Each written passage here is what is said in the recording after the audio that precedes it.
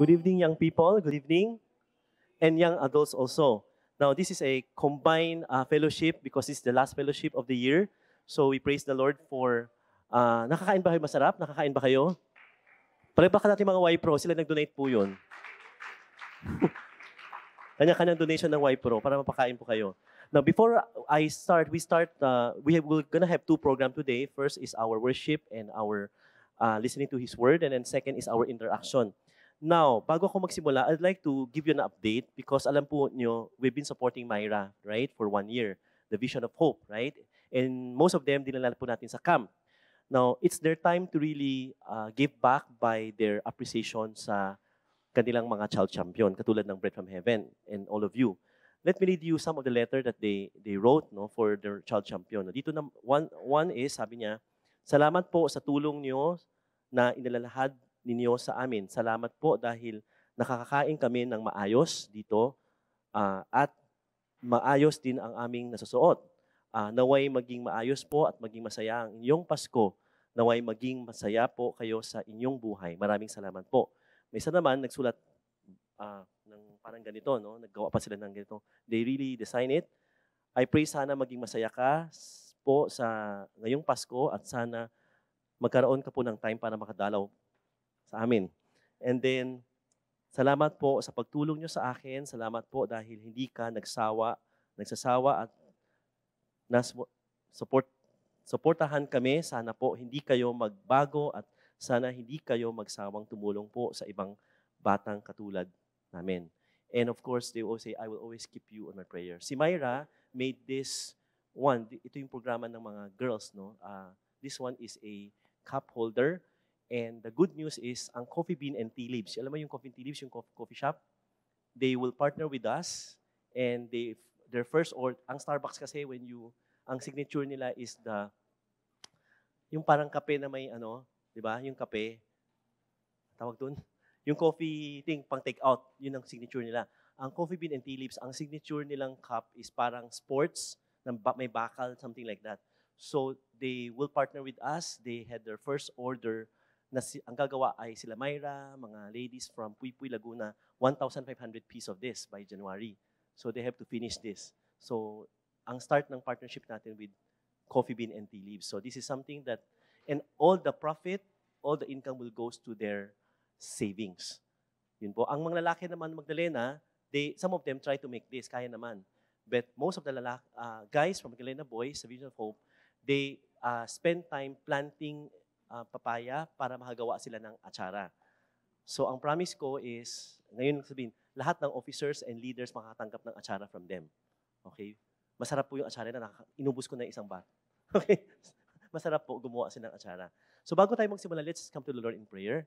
Father in heaven, we give thanks to you because of the incarnation of Christ. You are the reason why we have Christmas. You are the reason why we have life, we have hope, and you're the reason why we are saved. Therefore, as we come before you, our hearts rejoices in what you have done 2,000 years ago. Our, right, our heart continue to rejoice because the Savior has come, the Savior has died and rose again. And the Savior is seated in the highest place and where his kingdom will have no end. We are rejoicing because even in the time that we're waiting for your second coming, we already know that the battle has been won by the power of the cross, through the cross of Jesus Christ. Therefore, Panginoon, help us to, to live as victors in Jesus Christ. To live as a life with uh, such victory, even if we, marami kami pinagdadaanan, we will learn to live in victory because you are, our God is a victorious King. Therefore, even tonight, we offer to you this time, lahat ng activity po namin, we pray for your presence in our midst. Lord, even sa singing pa lang, we can really experience your presence. Therefore, Lord, May you continue to sanctify this place, sanctify our hearts, and sanctify your servant. Help me, Father, to say what I should say and say and not say what I should not say. Thank you, Lord. We give thanks to you in Jesus' name we pray. Amen. Every time we uh, talk about Christmas, the preacher will always talk about either Luke chapter 2 or Matthew chapter 2, meaning yung Christmas story about Jesus Christ. But you know, sometimes we need to hear a fresh revelation from the Lord when it comes to His message. Today, I'm going to talk about a very familiar story in Matthew chapter 2 about the birth of Jesus Christ. but you will hear a different insight of Matthew chapter 2. Kasi ang God, pag nag-reveal, iba siya mag-reveal. Uh, short lang message because we have another part 2 sa activities po natin. So, turn, ang title ng message natin is My Bethlehem Journey. So, let's turn, uh, look, look at our passage for today, Matthew chapter 2, verse 1 to 12. Can you flash the, the verse? Matthew 2, verse 1 to 12. We're very familiar with this. Verse 2, After Jesus was born in, saan siya pinanganak? Bethlehem, in Judea, during the time of King Herod, the Magi from the east came to Jerusalem and asked, Where is the one who has been born King of the Jews? We saw his star, and when it rose and have come to worship him. When King Herod uh, heard this, he was disturbed. Kasi lang king eh. And all Jerusalem with him. When he had called together all the people's chief priests and teachers of the law, he asked them where the Messiah was to be born. In Bethlehem Judea, Judea they replied, For this is what the prophet has uh, written. But you, Bethlehem, in the land of Judah, by are no means least among the rulers of Judah. For out of you will come a ruler who will shepherd my people Israel. Sa nakuha itong verse na to? Yan ay nakuha sa Micah, sa Old Testament.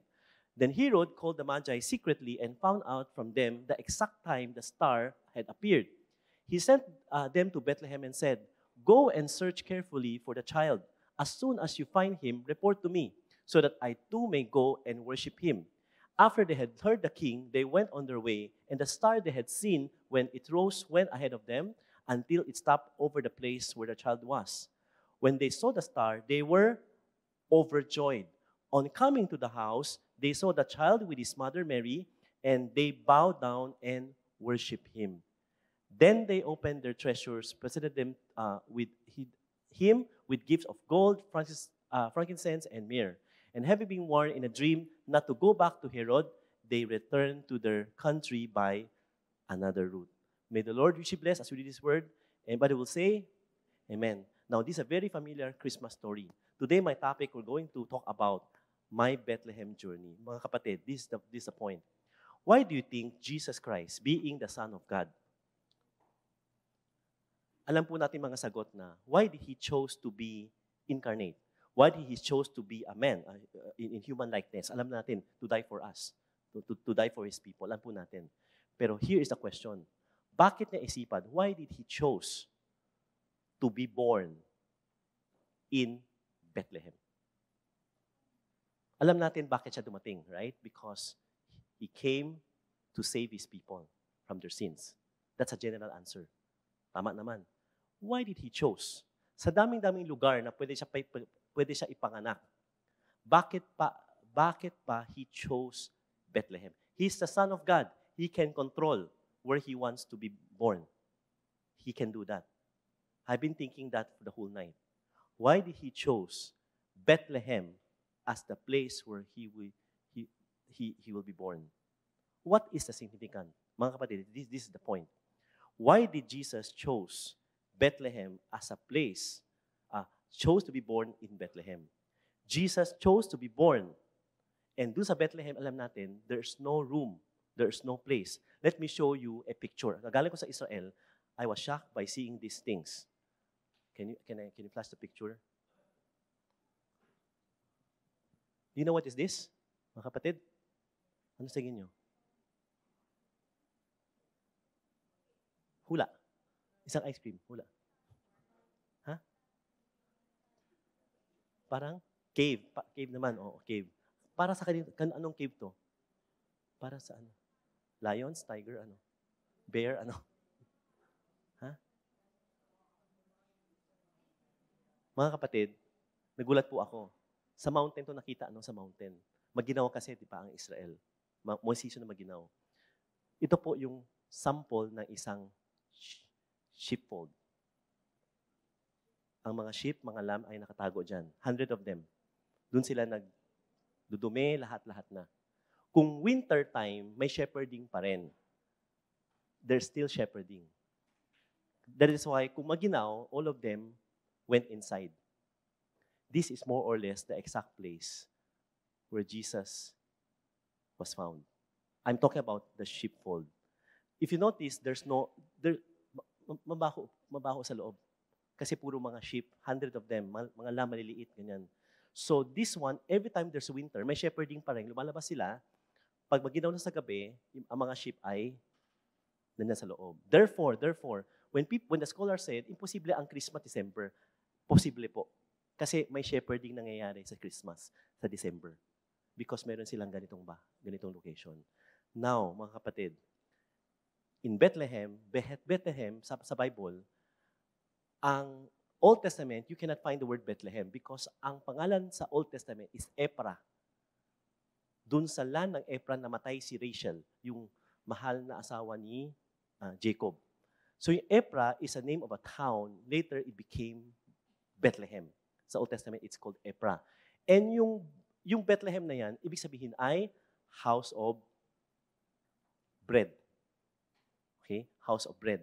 Now, this place is a very insignificant town and village. Wala. So when they went there, at doon sinilang si Jesus Christ, mahirap po makahanap talaga ng lugar. Okay? Because it's a very few, there are very few villages, and puro mga shepherd, all of these things. And mostly, dito si Jesus Christ, pinanganak. Doon sa loob na kabaho-baho ng mga lugar ng ganyan. If you notice, walang door. Kaya nga, Jesus Christ, when He said, I am the door of the, I am the door of the sheep. He is the one guarding. Kung hindi, kung hindi shepherd, the shepherd enters the door, and the non-shepherd, the, the enemy, will definitely goes up and try to steal the lamb or the sheep. Kaya, when he, he talks about John chapter 10, you now can imagine when Jesus said, I am the doorkeeper. Kasi wala talagang door. Nagbabantay ang shepherd dyan para hindi makapasok ang kalaban. Ang kalaban will not enter the door. They will enter somewhere just to the wolf, all of these things, just to. So more or less, this is a, this is a sheepfold. More or less, dito si Jesus Christ, sample, dahil siya pinganak, dyan siya nakita ng mga uh, ng magi and the shepherd as well. No? This, why would he chose to be born in Bethlehem? in a manger where no one wants to welcome him in the inn? I'll tell you the, the answer. Jesus chose to be born in Bethlehem because because even in his birth as a savior, meron siyang gusto turuan sa atin. The moment Jesus decided to become man and born through, through Virgin Mary. And he chose the place Bethlehem because yung pang, pakapanganak pa lang Jesus Christ, yung birth, the birth of the Savior, there's something for us to learn. He wants us to learn something. The lesson, our lesson as Christian, started in His birth. There is a lesson for us to learn. Three important truths I'd like to share to you about the, our Bethlehem journey. First, Bethlehem is a place I have no outline. Just, just listen to me. Makes it like message eh. A Bethlehem is, could be a place, could be a season in your life. It could be a place, it could be a season in your life. It could be a situation in your life where you, ex- you, you will experience the hardness of life. And Bethlehem represents a place, a season in your life, temporary, or a journey or a situation in your life na maramdaman nyo napakahirap ng buhay. It's so hard. You experience rejection from people. Jesus Christ, there's no one wants to welcome Him. He has to stay there. Manger with the sheep, mabaho, all of these things. Wala kasing lugar. No one wants to welcome Him. That was the scenario. It is a place where you find a lot of rejection from people. Some of you started your Bethlehem when you were born. Pinanganak ka, Bethlehem ng buhay mo. You recognize na parang, bakit? Parang ang daming kulang. Hindi ako naka-full, uh, hindi ako nakakain, bata pa lang ako, all of these things. Some of you were born with a Bethlehem journey already. Just like the people sa ating mga kapatiran sa Child Champion. And uh, this is also a place where sa sobrang hirap ng buhay, you, you, you're going through something, you question life about your suffering and there's no answer. Ulitin ko ha. What is a Bethlehem journey? Why would Jesus chose to be born in Bethlehem? He chose to be born in Bethlehem because his birth palang has something for us to learn. The birth of Christ, not his ministry, his birth, the birth of the Savior, is so significant that it has something for Christians to learn. First, we can learn ang Bethlehem represents a place and a journey or a season in our life where we find life's hardest struggle. Dun sa season ng buhay natin, hirap na hirap tayo. Parang, parang si Jesus Christ, Mary and Joseph, walang lugar, rejection from people. We find life, even some of you experienced Bethlehem as umpisa pa lang when they were born. Hindi makakain ng tama, all of these things. There was so much fight in the house, all of these things. This is an experience of Bethlehem journey. Or sa workplace natin, we struggle so much. Or in short, it is a place where, because life is so hard for us, we somehow question God, question ourselves, question people. We experience unfairness of this world. Bakit ang unfair? Bakit ako nangyayari sa akin to? Nangyari, walang nangyayari sa kanya, may nangyayari sa akin to. This is the, the, the meaning of um, how Bethlehem represents our life. Second important truth I'd like to share to you is this. But Bethlehem is God's prescribed place. It's God's divine place. Divine uh, prescribed place where He will use, gagamitin ng God, to accomplish His purpose in your life. Even though Bethlehem is a place of hardship, it's a place of uh, rejection from people, it's a, pla- it's a place where you question your suffering and there's no answer to your, to your question. Bethlehem is, is also an, indeed a place, God's divine place, God's prescribed place that He will use, no, gagamitin niya to accomplish His purpose in your life. Anong purpose ng Panginoon? Why Jesus Christ? Anong purpose ng Ama? Why Jesus Christ has to be born? God demonstrate this by the manner in which He sent His Son, Jesus, born in modesty and humility in a town called Bethlehem, and the Savior of this world, born in a field of animals, kasama mga animals.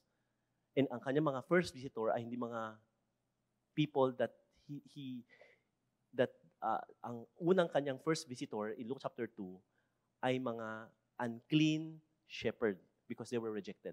They were outcasts. Ang kanyang unang king of the world, the king of heaven and earth, came. Ang unang visitor niya, mga unclean shepherds according to society and the, and the foreigner from the Magi. Wala siya ibang visitor. And Jesus chose that. When Jesus chose to demonstrate that to us, what is He telling us? Your Bethlehem is God's prescribed place for God to do something in your life. For God, usually ang purpose ng God is this. It is a place for God to purify you. It is a place for God to humble you. Sabi niya, I will instruct my people to walk humbly before me. God always choose the humblest things of life to accomplish His purpose in us. Therefore, when you experience Bethlehem, it is not just about hardship. The issue is not about hardship. The issue there is God's prescribed place for Him to accomplish whatever purpose that He desires in your life. His purpose always is to purify. His purpose is always to humble so that you can walk humbly before Him. Ang place, si King, Ma, King Herod, gusto siya patayin. Hinahanap siya, di siya mahanap. Bethlehem indeed become a safest, safe, safest place. Minsan kala, kala natin, Panginoon, hirap na hirap ako sa situation ko. Bakit hindi ako makapunta dun sa kabilang journey ko? Why do you let me stuck in this situation? Bethlehem is also a place of protection. Sometimes I told the young people, or not even young people, not so young people, I said, when God says no to you, it doesn't mean, doesn't mean He doesn't love you. When God put out some, put a stumbling block to your dreams, whatever is that, na hindi pa timing, whatever is that, it's not because God doesn't love you. It is because sometimes God uses your Bethlehem to protect you. Minsan, we will try to make decision maging palpak tayo in the future. And God is saying, alam ko mangyayari sa'yo. Kung hindi ka mahumble, kung hindi ka matuto yung humility, kung hindi ka ma-purify, you, your tendency to be able to make wrong decision in the, in the future is very, very high. Therefore, Bethlehem sometimes becomes a safe refuge for us. Hindi lang natin alam yun.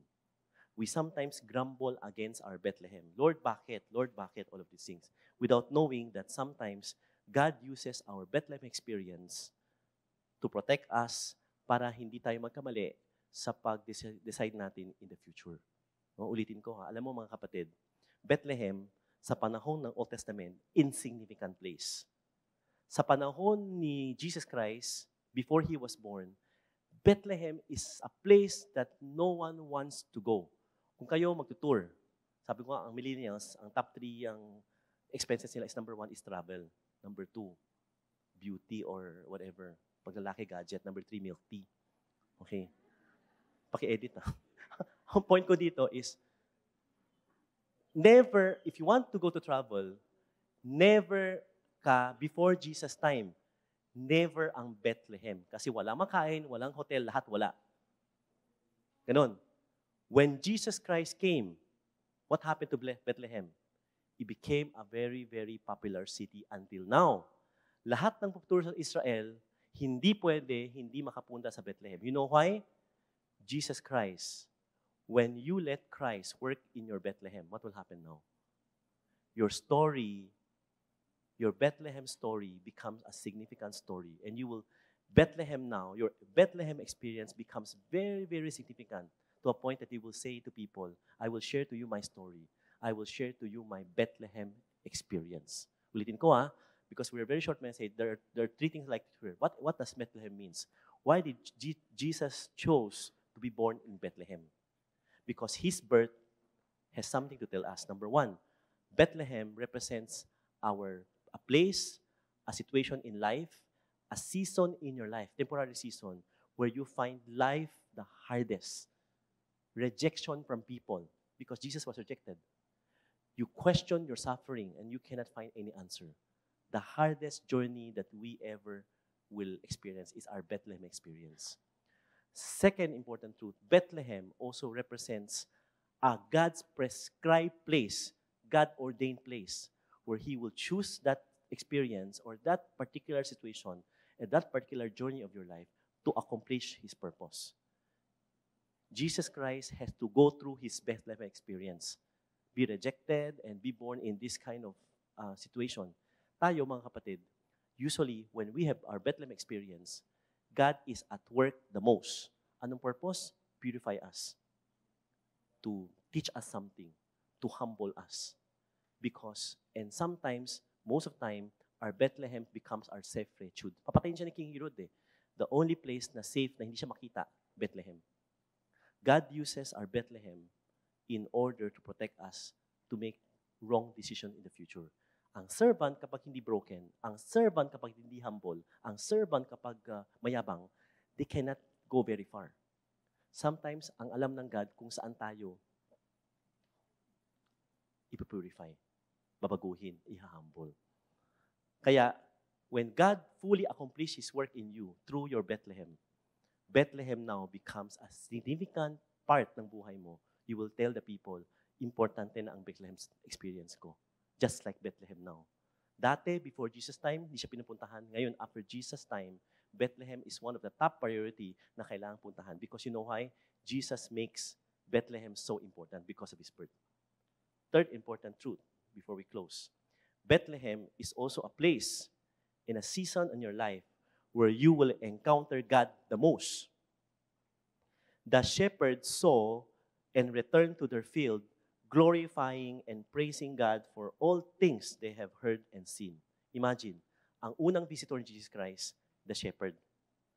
The Magi, when they saw the star and found the child, they rejoiced exceedingly and bowed down and worship Him. Bethlehem journey is painful, but it is also a journey in your life where God will work the most. It is also the journey in your life that God, that you will encounter God the most. Because only in Bethlehem they can found the child. Only in Bethlehem they can found and encounter Jesus Christ. The shepherds found Jesus in Bethlehem. The Pharisees did not. The Magi found Jesus Christ in Bethlehem. Ibig sabihin, mga kapatid, meron ka mang Bethlehem experience. God is saying to you, I have never left you. I have never abandoned you. The most painful encounter is Bethlehem. But the most powerful work of God is in our Bethlehem. And the most encounter that we have with the Lord is in Bethlehem. Di ba? Ganun ang God parate. They rejoice exceedingly and bow down and worship Him. When God has fully revealed His work in your Bethlehem journey, then that's a time you will realize your Bethlehem becomes significant part of your journey in life, just like the Bethlehem now. Brothers and sisters, before I close, Bethlehem may be a place of our temporary suffering and hardship. But Bethlehem also remind us that God is doing something and is using our Bethlehem experience to accomplish something in our life. Bethlehem also remind us that the presence of God has never left us. Later, why is Bethlehem? Many years ago, ang tawag sa kanya, house of bread. Jesus came as a Savior, and Jesus said in John chapter 6, I am the bread of life. He who comes to me will never go hungry. He who believes in me will never be thirsty. Alam mo, ang ganda pag-aralan yung map ng Israel. Yung mga places ng Israel, may significant uh, meaning yan sa pagdadating ng Savior. 200 years ago, ang Capernaum ay nandyan na. Capernaum means comfort, Num village, village of comfort. Jesus Christ spent most of his three years in Capernaum. Two, 400 years before he was born, the place was named Capernaum, meaning village of comfort. Walang comforter. He came after 400 years and he became the comforter of Capernaum. So ang significant ng Israel is always the places that we see and all of these things has really a meaning kasi it all reflects the coming of the Messiah. Ulitin ko ah, ang Bethlehem is a journey temporary in your life. You experience pain, rejection, no one wants to welcome you, all of these things. But Bethlehem is also a God's prescribed journey, place in your life that He will accomplish His purpose. Ginagamit ng God yung Bethlehem mo para ma-purify ka, para ma humble ka, so that we walk humble before Him. Bethlehem is also a place where you experience refuge kasi papatayin ka kapag hindi ka mahanap sa, nahanap ka sa iba. Bethlehem, it becomes a place of protection. We complain to God about our suffering, but God said, I'm protecting you for you to be able and equip you for you to have right decision, not to uh, uh, make wrong decision in the future. Third, Bethlehem is also a place you encounter God the most. The Magi and the shepherd found Jesus in Bethlehem. There's no other place only in Bethlehem. Bethlehem is a place, masakit man, but it's also a place you can experience Christ the most. Because never kanya inabandon. Never kanya iniwan. Amen po ba? Let's come to the Lord in prayer. Panginoon, we give thanks to you. Even if we go through our own Bethlehem experience, it's a very, very painful journey. Pains about life, hardship about life, pains about our suffering that there's no, there's no answer. But you comfort us by saying to us that our Bethlehem is your prescribed place. It's God's prescribed journey that, uh, that allows us to see you working in us and through us. Bethlehem is the place where we will be purified. Bethlehem is a place we will be so molded by God that we can be like Him. Bethlehem is a place where we will see God's power working in us, God's sufficient grace. Thank you for Bethlehem because Bethlehem is the place where Jesus chose to be born. Bethlehem is also a place where your presence is um, that we will can encounter you the most. I pray for everyone, especially who are going through their Bethlehem experience. Help them not to grumble help them to trust that Bethlehem experience is a necessity for every believer because God wanted to accomplish His purpose to the humblest things of this world, to the most uh, uh, uh, painful things. God chose to accomplish His purpose by making us more like Jesus Christ, by equipping us and by leading us to inherit a blessings that we can handle. also, Lord, I ask once again for the deep revelation of your presence. Hindi lang bawat sa amin, but even sa bawat ng aming kapatiran sa Child Champion. That even if they are still living in their Bethlehem, even as they, uh, until now, because of, you will allow them, you allow, allow all of us to experience you most, knowing that, Panginoon, because of you, we are not shaken. I have set the Lord continually before me, because He is at my right hand, I will never be shaken. May you uphold everyone who is going to, their own Bethlehem.